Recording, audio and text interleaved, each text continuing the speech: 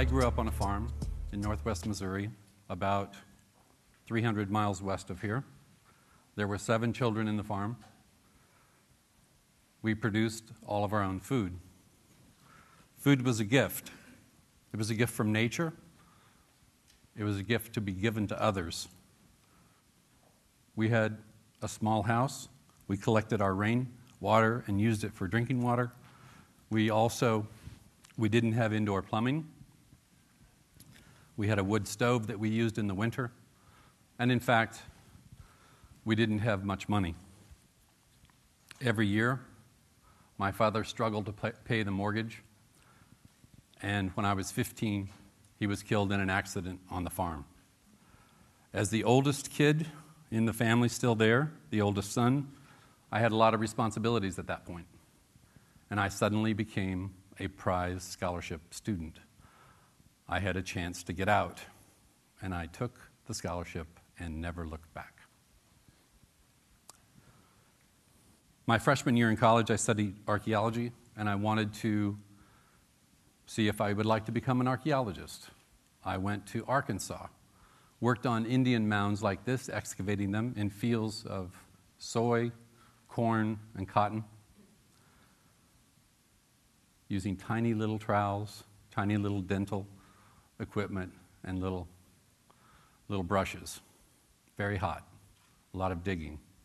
Wasn't much different than what I was used to. Went back to college, my sophomore year. Going to get a little further away next summer. Went to southern Mexico. Lived in an Indian village.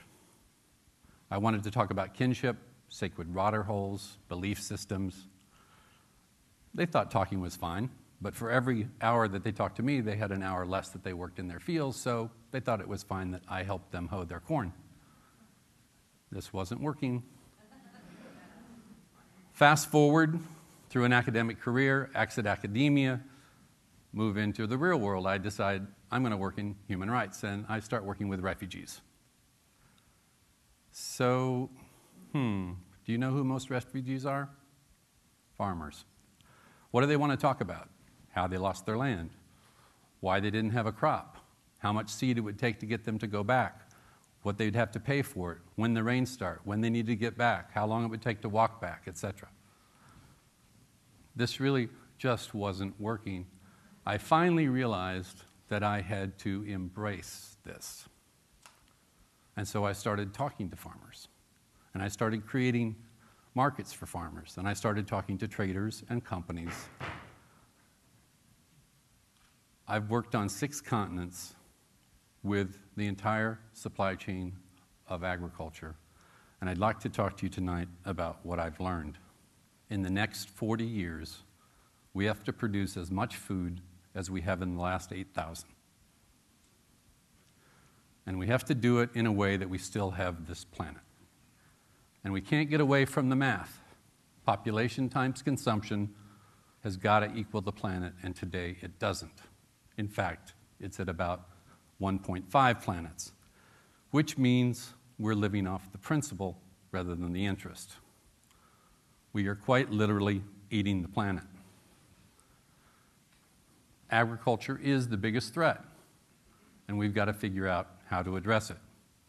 It's the leading cause of deforestation. It's the leading cause of water use and water contamination. Biggest cause of pollution. The biggest user of chemicals. The biggest source of greenhouse gases and carbon dioxide and carbon released into the atmosphere. And in the last 150 years, it's caused us to lose half of our topsoil. Not a very pretty picture. We're using a third of the planet today to grow food and to grow livestock. We can't use the deserts. We can't use the mountains, lakes, rivers, and streams. We can't use the urban areas and all of the highways. Hopefully, we won't use the national parks. So we've got about 30% left of the planet that we can begin to use to grow food. So, what are we going to do? We're using land right now, clearing habitat at about 0.6 of 1% a year. If we go forward at this rate, if we don't change the trajectory, over the next 40 years, we will, in fact, clear 24% more of the land. And it will look like this. This is the frontier between farming and nature. This happens to be Brazil, but it could be on many different continents. So we got to freeze the footprint of food, and we've got to do it pretty fast if we want any biodiversity left in ecosystem services. World Wildlife Fund works to conserve biodiversity and the services it provides all of us. We don't have the ability to work everywhere in the world. We need to focus. So we've selected the 35 places that are the most important from a biodiversity point of view. And then we've looked at those places and tried to figure out what are the biggest threats. Turns out it's 15 commodities. And of these commodities, most are food. If we don't get food right in terms of where we grow it and how we grow it, we won't have a planet. So we've got to work with the food system. We've got to work with the value chain. So we took it apart. Where do we go? How do we work with it? Do we work with 6.9 billion consumers? 6,000 languages, take five to 10 seconds to make a choice. Pretty hard to influence that kind of group. Do we work with 1.5 billion producers? Again, we're mostly environmentalists. We're probably not the group to work with farmers. Or do we work with three to 500 companies that control 70% or more of the trade of each of the commodities we care about? And we decided we were going to take the latter approach. Now, what we found when we actually started doing research on which companies are involved is that you see that the companies are the same. They start showing up under different columns. There's Cargill here, Cargill there. Cargill's kind of everywhere on this map. But there are other companies too. And what we discovered was that 100 companies control 25% of the trade of all 15 of the commodities we care about. In fact, as we dig deeper, it's probably even less than that. Well, we can work with 100 companies. We can actually make that happen. In fact, We've signed MOUs to begin work with 40 of those 100 companies. And we have MOUs in the pipeline to work with another 40 companies. By 2050, 9 billion people. We may need twice as much food as we have today. How are we going to get there? There are multiple solutions and multiple strategies that we have to pursue simultaneously. We've identified nine, which are these right here. In 18 minutes, I can't really do justice to nine. I'm going to try to do four, and we'll see how far we get. Currently, we waste one out of every three calories that we produce. What does that mean? It means that if we could stop wasting food we wouldn't have to produce as much and we'd still be able to feed 9 billion people. So reducing waste is important. Where's the waste? In developing countries, it's in infrastructure, it's storage, it's in uh, lack of refrigeration, it's how things are moved. But in our own society, it's in the retail area, it's in the post consumer area, it's in the restaurants. We throw away a lot of food half of all fresh produce is thrown away. In Japan, half of produce is rejected at the farm gate because it's not perfect. We need to get over ourselves. We've got to start figuring out how to save and use food better. Sell by doesn't mean spoiled by. What would you give for a little machine that somebody could miniaturize that could tell you whether the leftover Chinese in your fridge is any good or not? Whether the lasagna from a week ago is still edible or not without killing you. We could save a lot, and it probably wouldn't cost a hundred bucks. So somebody needs to invent it. Maybe you will. We have an expression in Missouri that goes something like dance with the one that brung you. Genetics got us here. It's been responsible for producing food for 8,000 years, selecting crops, selecting traits, it's very important. We shouldn't take it off the table. But genetics isn't just GMOs. In fact, it's not even mostly GMOs. Genetics is about plant breeding, it's about hybrids, it's about selecting traits. We need to begin to look at this issue seriously. In the US, hybrids have quadrupled the production of corn. In most of the world, we don't use hybrids to produce corn yet. So production is down at the level on the left. 10 crops provide 80% of the calories on the planet today. It's not animals, guys, it's crops. 80%. Only two of them are scheduled to double in productivity by 2050, which is what we need to do on average across all food systems. We need to stop focusing on crops that are grown in Europe and the US and focus on crops that are grown in Africa and South Asia, where the population and the demand is going to be in the future.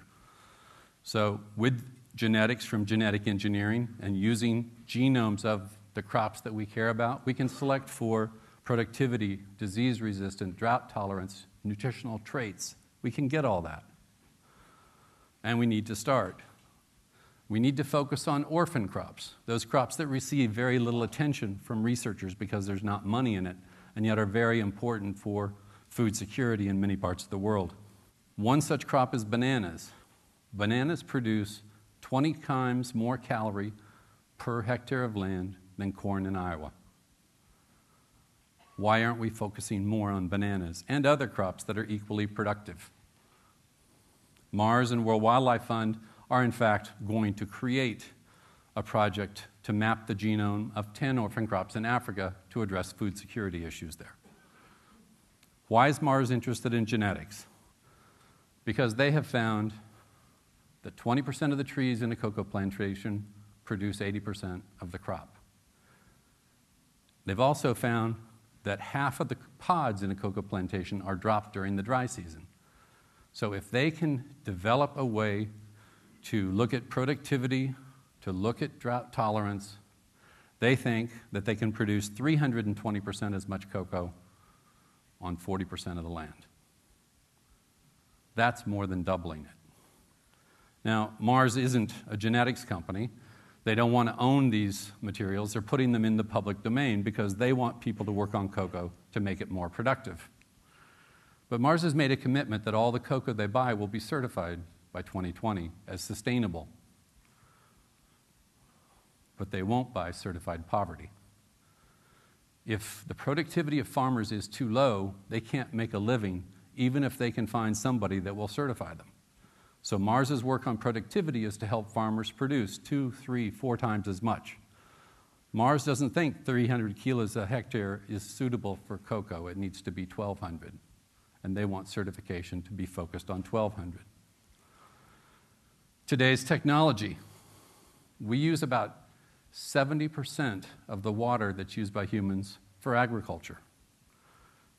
We've got a lot of water scarcity around the world. It's going to get worse. We need to use technologies that give us more crop per drop. But which are those technologies? Currently, it takes about one liter of water to make one calorie of food. If your diet's 3,000 calories, that's about 3,000 liters of water. Which technology is better? Is it flood irrigation? Is it furrow irrigation? Center pivot? Or drip? It's not an obvious answer. It depends. It depends on the crop, it depends on the conditions. Better practices. The better farmers in the world produce 100 times more than the worst farmers. We need to understand that, and we need to use that but which is going to produce more for us, focusing on the better farmers or focusing on the rest? We need to move the bottom. It's cheaper, we have the technology, we know how to do it. If we move the bottom, we will increase production more and will reduce environmental impacts more. So, IKEA is now working with the World Wildlife Fund to, in fact, improve cotton production around the world. Why does IKEA care about cotton? Because they're one of the largest buyers of cotton on the planet. Why does World Wildlife Fund care about cotton? Because it uses more pesticides than any other plant grown by people. We started working with 450 farmers. We're up to 60,000 today. They've reduced their water and pesticide use by half and increased their profits by 40%. Next year, IKEA will have 25% of all their crop coming from growers like these. Why do the growers produce for IKEA? Because IKEA guarantees them a market. Unilever is doing the same thing. Unilever is working with, produces toothpaste. Instead of buying imported ingredients from abroad, they're buying a filler from Indonesia. It's made from cassava like this, turned into a tapioca like substance which is used to make toothpaste. It's the main ingredient. By making this simple choice, they now create 35,000 full time jobs for farmers. Just in Indonesia, just in one product line. Unilever only has 3,000 employees in Indonesia as a company. And they're not just doing it in Indonesia, they're also doing it with cucumbers uh, and other products in India. This particular project employs 7,000 people where they've reduced chemical use by 78%, doubled yield, and improved quality. Unilever is not just focusing on one or two crops, they're looking more broadly. Be November 15th, Unilever is going to make a commitment that 100% of all their natural ingredients will come from sustainable sources. They only know how that's going to happen for about 80% of their raw materials at this point. They don't know how the rest is going to, to, to play out. It's a leap of faith, and they know they can't do it by themselves. So they're looking for other companies to work with. The thing is, we know how to produce all commodities in greater abundance with fewer inputs. Companies like IKEA, Mars, and Unilever have shown the way. 100 companies can push 50% of production around the world to more sustainable levels. Producers can take advantage of that and sell their products, and we can support those producers by buying them.